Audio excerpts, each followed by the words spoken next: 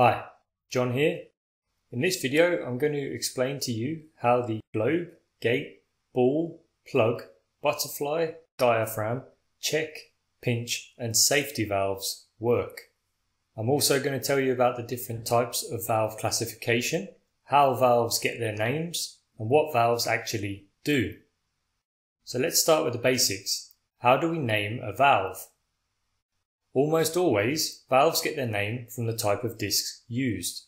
The disc is the part of the valve that is used to open, close, or regulate the flow through the valve. Regulating the flow is referred to as throttling. What we're looking at now is a ball valve because of the ball-like shape of the disc. The butterfly valve is named because of its similar appearance to a butterfly, and the gate valve is named because of its similar appearance to a gate. There are exceptions to the rule though. Globe valves are named after the shape of the valve body itself.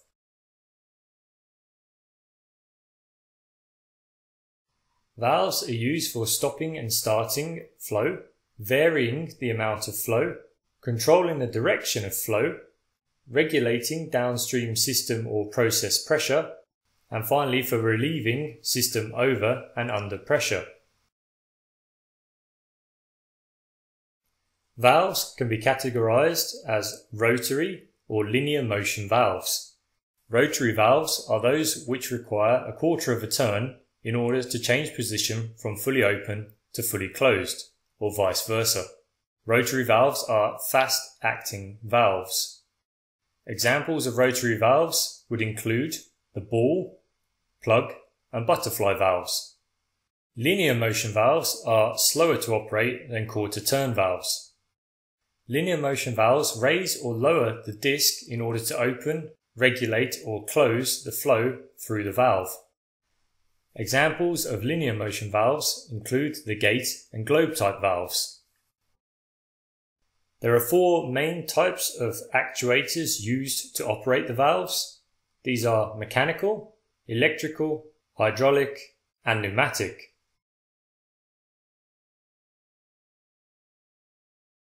A ball valve is a rotary motion valve that uses a ball-shaped disc to stop or start flow.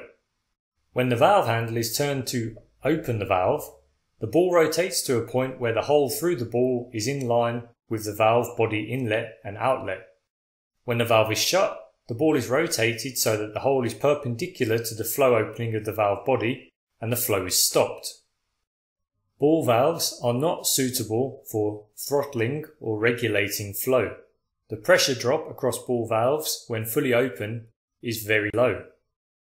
Small to medium sized ball valves are fast acting quarter turn valves. Larger ball valves employ a planetary gearbox. The planetary gearbox allows the use of a relatively small hand wheel and operating force to operate a fairly large valve.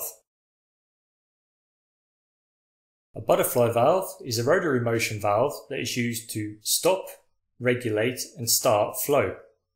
Like all quarter turn valves, the butterfly valve is fast acting. Larger butterfly valves employ planetary type gearboxes. Butterfly valves possess many advantages over gate, globe, plug and ball type valves, especially for larger applications. Savings in weight, space and cost are the most obvious advantages. The pressure drop across the butterfly valve when the valve is fully open is low.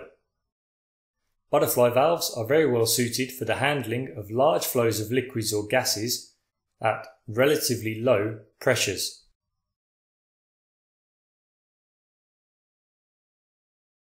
A diaphragm valve is a linear motion type valve that is used to start, regulate or stop fluid flow.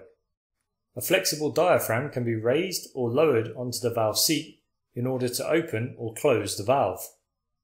A great advantage with the diaphragm type valve is that very few parts are exposed to the flowing medium. The valve is constructed so that only the flexible diaphragm and internal valve flow passages are exposed to the flowing medium. This makes it particularly well suited for the handling of corrosive fluids fibrous slurries, radioactive fluids, or other fluids that must remain free from contamination. Gate valves are the most common type of valves employed today. Gate valve is a linear motion type valve used to start or stop flow. It is not suitable for regulating flow. The name gate is derived from the appearance of the valve disc. The disc of the gate valve is completely removed from the flow stream when the valve is fully open. This allows flow through the valve with virtually no resistance.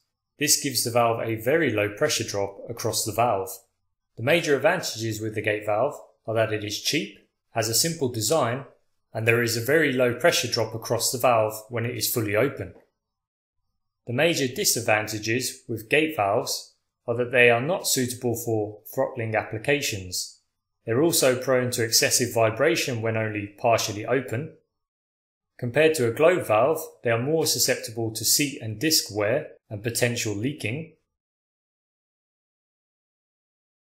A globe valve is a linear motion valve used to stop, start and regulate fluid flow. There are four main globe valve designs, straight flow, angle flow, cross flow and Y flow. Compared to a gate valve, a globe valve generally yields much less seat leakage. This is because the disc to seat ring contact is more at right angles, which permits the force of closing to tightly seat the disc. Globe valves are almost always installed with the system pressure on the underside of the valve seat. This makes it easier to open the valve and also removes the pressure on the stem, packing and bonnet when the valve is closed. The largest disadvantage with a globe valve is that there is a relatively large pressure drop across the valve. In addition, large globe valve sizes require considerable power to operate and are especially noisy in high pressure applications. Globe valves are also often heavier than other type of valves with the same flow rating.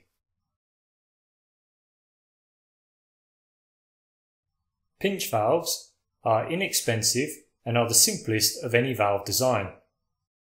The pinch control valve consists of a sleeve molded of rubber or other synthetic material and a pinching mechanism. Pinch valves can be used to start, stop or regulate flow. However, the effective throttling range is usually between 10% and 95% of the rated flow capacity. There is almost no pressure drop across a pinch valve. Pinch valves are ideally suited for the handling of slurries with large amounts of suspended solids. This is because they have a very large seating area. Because the operating mechanisms of the valve are completely isolated from the flowing medium, these valves are very well suited where corrosion or metal contamination of the flowing medium might be a problem.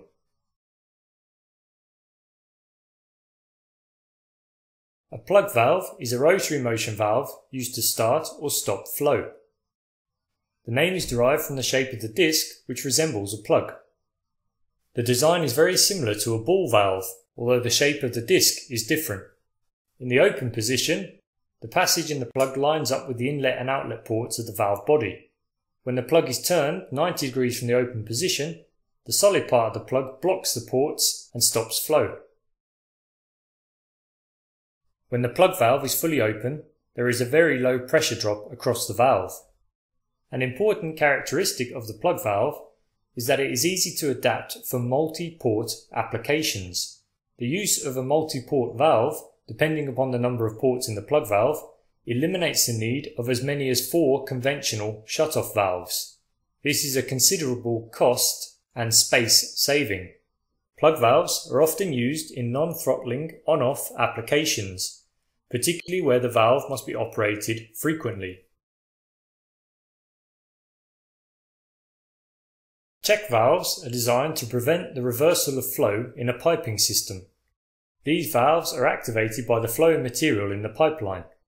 The pressure of the fluid passing through the system opens the valve, whilst any reversal of flow will close the valve.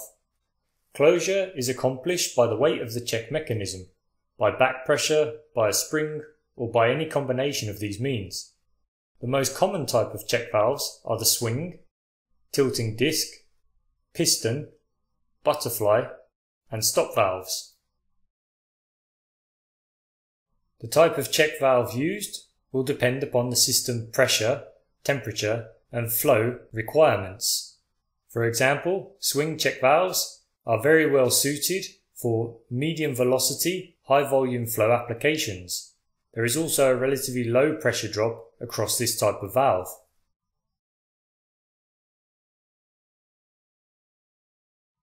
A needle valve is used to make relatively fine adjustments in the amount of fluid flow. The most distinguishing characteristic of a needle valve is the long, tapered needle-like point on the end of the valve stem. The needle acts as a disc. The longer part of the needle is smaller than the orifice in the valve seat and passes through the orifice before the needle seats. This arrangement permits a very gradual increase or decrease in the size of the opening. Needle valves are frequently used as metering valves. This is because the number of turns of the hand wheel can be directly correlated to the amount of flow.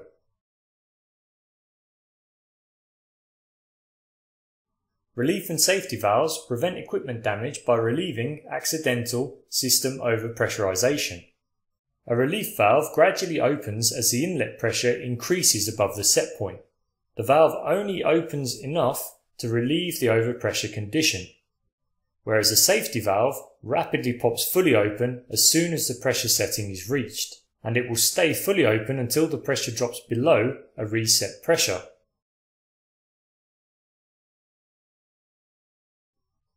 Solenoid valves are electromechanically operated valves. They are very well suited to opening and closing operations. They can be used to start or stop flow but are not well suited for regulating flow. This type of valve is fast acting. An electromagnet is used to operate the valve when current is supplied to the windings. A spring is used to return the valve to its fail-safe position when the electrical current is no longer present.